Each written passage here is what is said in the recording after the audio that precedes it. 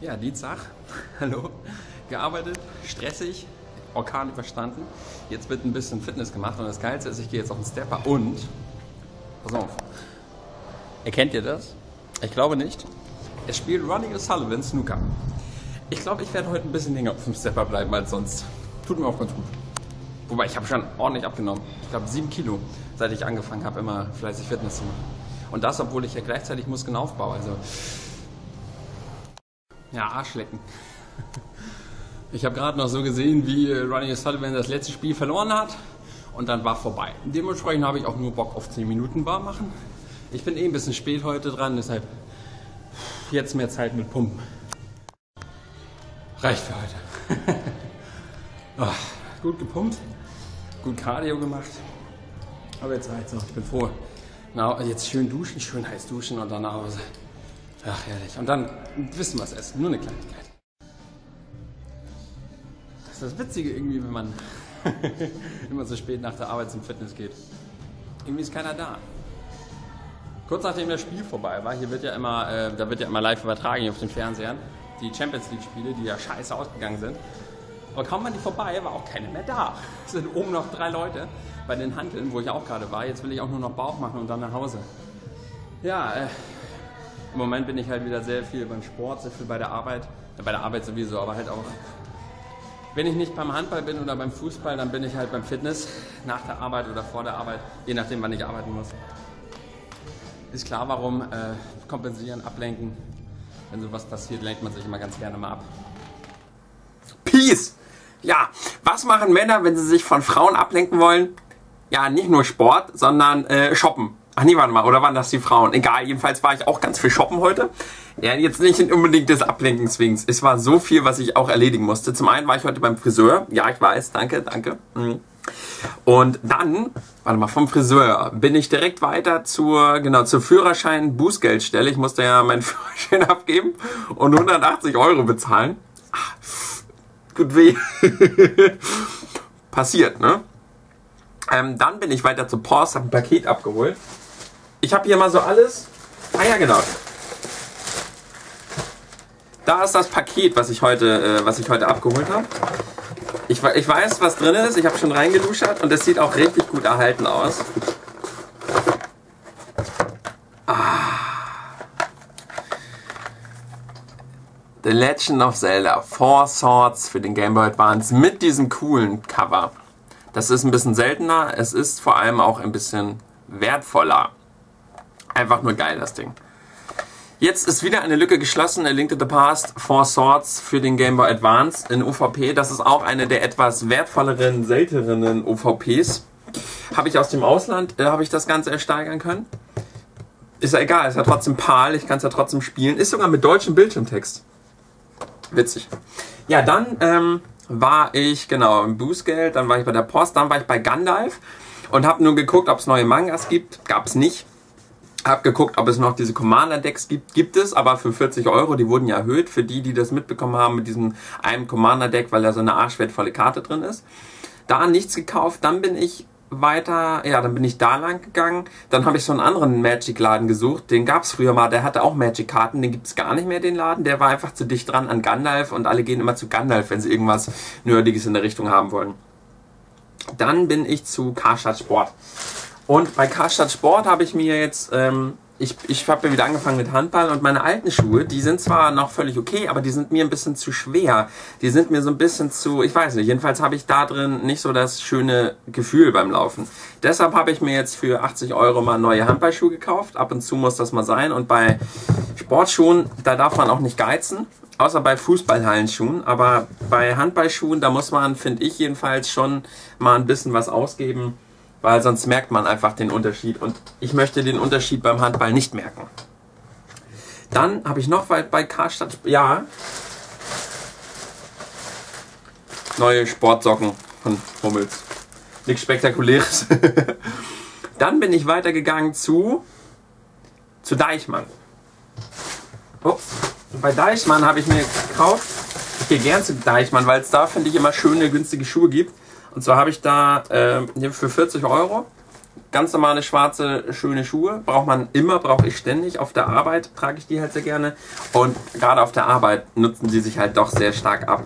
Deshalb muss ich mir ab und zu mal neue, schöne, schicke, schwarze Schuhe kaufen. Und dann, wie gesagt, neue, Hand, äh, neue Hallenschuhe brauchte ich auch für 40 Euro. Ganz normale Adidas Hallenschuhe.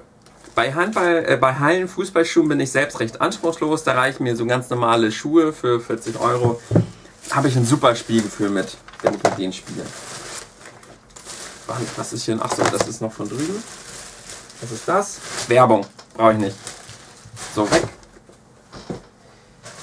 Dann war ich noch bei Saturn und bei Saturn war ich einfach nur so drin, weil der direkt gegenüber von Deichmann war und ich wollte gucken, ob man da, manchmal findet man ja was. Und dann habe ich tatsächlich gesehen, dass sie, ich weiß nicht, ob das jemand von euch kennt, Büttenwader.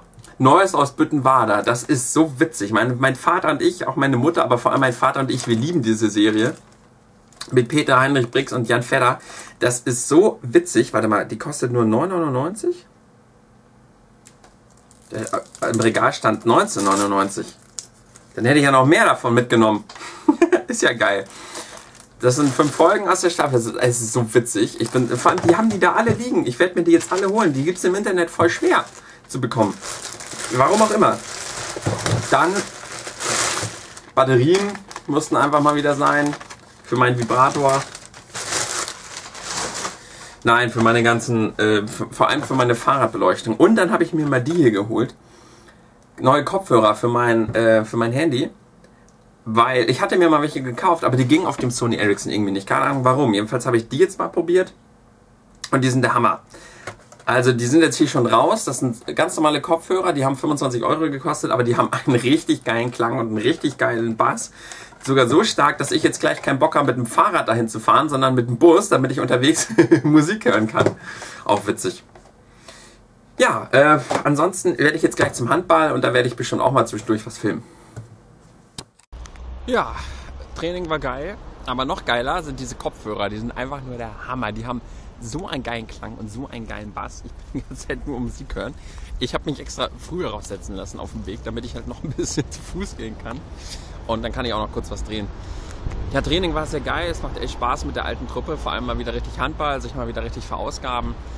Äh, macht richtig Bock. Ich merke auch, dass ich deutlich fitter geworden bin durch das Fußballspielen. Bin jetzt aber doch ziemlich im Arsch von den ganzen Tagen. Ich war ja nur beim Fitness, jetzt beim Handball. Morgen werde ich aber auch noch zum Fitness und dann mir Samstag mal Pause gönnen. Samstag habe ich sowieso 9 bis 17 Uhr. Das heißt, ich habe mal den Samstagabend äh, frei und werde mal gucken, was man da so machen könnte. Ja, äh, ansonsten, es geht schon einigermaßen mit dieser gewissen Geschichte. Jetzt, äh, man denkt halt immer noch dran, so wie heute zum Beispiel, donnerstags ist sie öfter mal vorbeigekommen nach dem Training und wir haben uns auf dem Parkplatz getroffen, unsere Parkplatz-Dates. Naja, aber es geht, alles in allem geht es irgendwie auf jeden Fall voran. Wie gesagt, ich möchte das hier jetzt ja auch nicht großartig breitreten, aber mal kurz drüber reden kann man ja mal. Ja, ansonsten werde ich jetzt nach Hause, war ein komischer, lustiger Tag. ich bin den ganzen Tag unterwegs gewesen und Besorgung gemacht und Sachen gekauft scheiße viel Geld ausgegeben. 180 davon natürlich leider ein bisschen unnötig. Aber was soll's. Wenn man, ne, muss man mit klarkommen, wenn man sowas macht. Ja, jetzt werde ich mir noch zwei Würstchen oder so essen, das muss reichen, sonst nimmt man ja nicht ab, ne?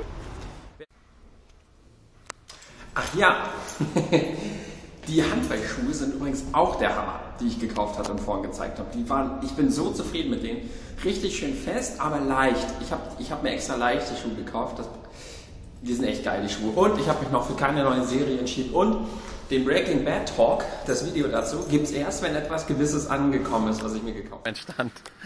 Rosen sind auch noch ein bisschen da. Den haben wir uns so aufgebaut und mit Stickern beklebt.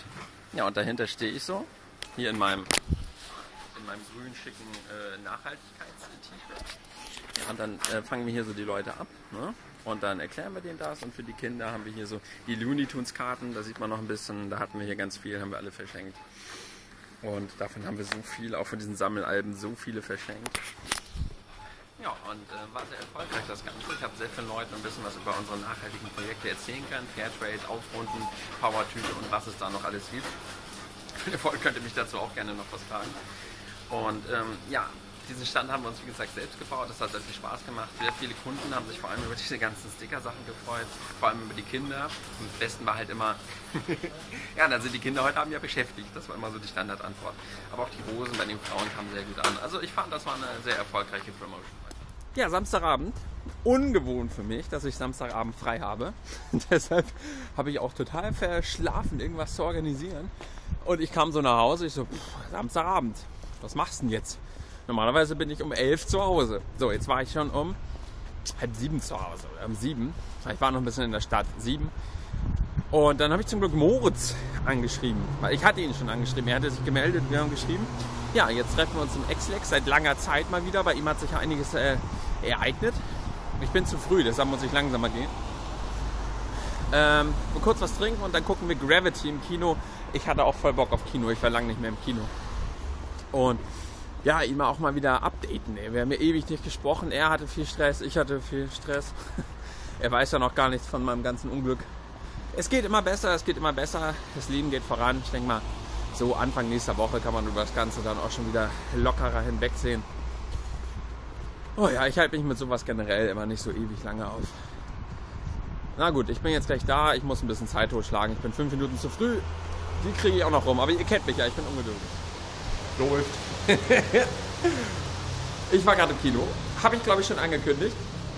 Eigentlich, wir, wir haben Gravity geguckt. Hammer ist das ein geiler Film.